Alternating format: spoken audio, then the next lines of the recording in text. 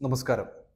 കോർപ്പറേറ്റുകളുടെ ഷൂനക്കികളായ B J പിയുടെ ഭരണത്തിൽ ഇന്ത്യയുടെ സമ്പത്ത് കൊള്ളയടിക്കാൻ എല്ലാവിധ സഹായവും ചെയ്യുമെന്നാണ് ഹിൻഡൻബർഗിന്റെ പുതിയ വെളിപ്പെടുത്തലിലൂടെ കൂടുതൽ വ്യക്തമായിക്കൊണ്ടിരിക്കുന്ന വസ്തുത.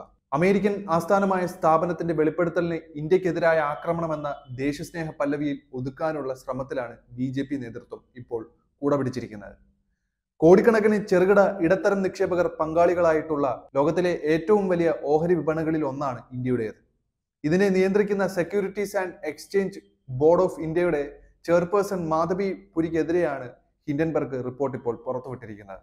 റിപ്പോർട്ട് തെറ്റാണെന്ന് ബോധ്യപ്പെടുത്താൻ അവർ മാധവിയെ ഇപ്പോൾ വെല്ലുവിളിച്ചിരിക്കുകയാണ്. ആരോപണം സംബന്ധിച്ച് സംയുക്ത പാർലമെന്ററി സമിതി അന്വേഷിക്കണമെന്ന് പ്രതിപക്ഷ പാർട്ടികളിലുള്ളവരെല്ലാം ആവശ്യപ്പെട്ടിട്ടുണ്ട്.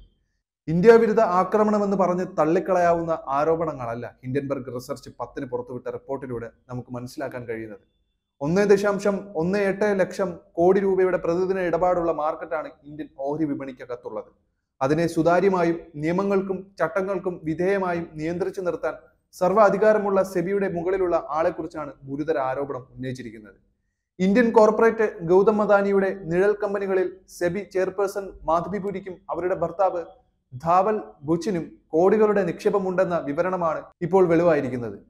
ഓഹരി മൂല്യം ഏച്ചുകെട്ടി കൂടുതലാണെന്ന് കാണിച്ച് അദാനി ഗ്രൂപ്പ് വൻ നേട്ടം നെയ്തെടുക്കുന്നതായും അതിനു വേണ്ടിയിട്ട് ഗൗതം അദാനിയുടെ സഹോദരൻ വിനോദ് അദാനിയുടെ നേതൃത്വത്തിൽ മൗറീഷ്യസ് ആസ്ഥാനമായി പ്രവർത്തിക്കുന്ന മുപ്പത്തെട്ട് നിഴൽ കമ്പനികൾ വഴി ഇടപാടുകൾ നടത്തിയിട്ടുണ്ടെന്നും ഹിൻഡൻബർഗ് രണ്ടായിരത്തി ഇരുപത്തി മൂന്ന് ജനുവരിയിൽ പുറത്തുവിട്ട ആദ്യത്തെ അവലോകനത്തിൽ വ്യക്തമാക്കിയിട്ടുണ്ടായിരുന്നു.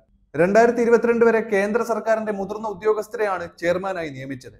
മലയാളിയായ എം ദാമോദരനും രണ്ടായിരത്തി അഞ്ച് രണ്ടായിരത്തി എട്ടിൽ സെബിയുടെ ചെയർമാനുമായിരുന്നു. എന്നാൽ ഈ രീതി മാറി സർക്കാരുമായി ബന്ധമില്ലാത്ത സ്വകാര്യ കമ്പനികളിൽ മാത്രം പ്രവർത്തിച്ചു വന്ന മാധവിപുരിയെ ചെയർപേഴ്സൺ ആക്കിയത് ആർക്ക് വേണ്ടിയാണെന്ന ചോദ്യമാണ് ഇപ്പോൾ ഉയർന്നു വന്നുകൊണ്ടിരിക്കുന്നത്.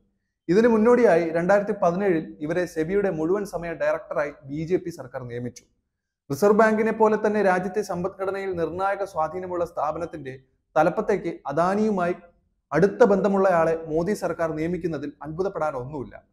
പൊതുമേഖലാ ബാങ്കുകളുടെ കോടിക്കണക്കിന് രൂപ അദാനിക്ക് കൊടുക്കാൻ മോദി നേരിട്ടിടപെട്ട ചരിത്രം നമ്മുടെ മുന്നിലുണ്ട്. എന്നാൽ രാജ്യത്തെ സ്നേഹിക്കുന്ന ആർക്കും ഈ കൊള്ളയ്ക്ക് കൂട്ടുനിൽക്കാനാകുകയില്ല. പരമോന്നത നീതിപീഠത്തെ പോലും കബളിപ്പിച്ചാണ് കുംഭകോണം അരങ്ങേറിക്കൊണ്ടിരിക്കുന്നത്. പ്രതിപക്ഷ പാർട്ടികൾ ആവശ്യപ്പെടുന്നത് പോലെ ജെ പി സി അന്വേഷണം ആവശ്യമുള്ള ഒരു കാര്യം കൂടിയാണിത്. മാധവിപുരി ഒരു നിമിഷം പോലും സെബി തലപ്പത്ത് ഇരിക്കാൻ യോഗ്യതയുള്ള ഒരാളല്ല. വിനോദ് അദാനി നേതൃത്വത്തിലുള്ള സിംഗപ്പൂരിലെ ഐ പി ഇ പ്ലസ് കമ്പനിയിൽ മാധവിപുരിക്കും ഭർത്താവിനും രണ്ടായിരത്തി പതിനഞ്ച് മുതൽ നിക്ഷേപം ഉണ്ടായിരുന്നെന്ന് അവർ തന്നെ പറഞ്ഞിട്ടുള്ള ഒരു കാര്യം കൂടിയാണ്. സെബിയിലേക്ക് വന്ന് രണ്ടായിരത്തി പതിനേഴിൽ മാധവിയുടെ നിക്ഷേപം ഭർത്താവിന്റെ പേരിലാക്കിയതായും രേഖകൾ വെളിപ്പെടുത്തുന്നുണ്ട്.